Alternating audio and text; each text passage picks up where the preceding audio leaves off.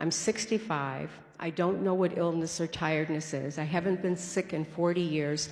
And this five place break that I have, I'm out of my cast two weeks early. So I have no intention of being crippled by this, and they were telling me I'm going to have arthritis and all these other things. It just doesn't exist in my world because I've chosen to live in God's pharmacy. We are a self regenerating organism. We get new cells every seven years, we get new tissue every three months. The body is designed to regenerate itself. But unfortunately, we don't give it the right materials and we give it too much of the wrong materials. So, what happens? We start to age, we start to grow tired, we start to develop symptoms. But once again, these symptoms aren't coming from out here somewhere deciding to attack you or you or you. These symptoms are being developed by our internal environment. The internal environment that we're just not giving what it's supposed to have.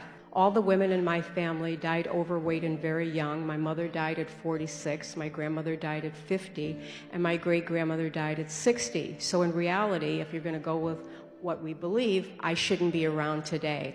We are living in such an age of chemicalization, too. We're taking in chemicals upon chemicals upon chemicals, and we're just expecting the body to accept it.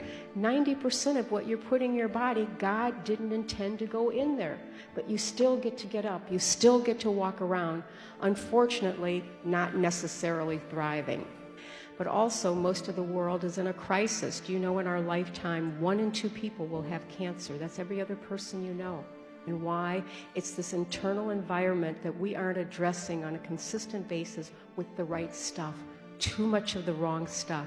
It's such a simple equation cause and effect.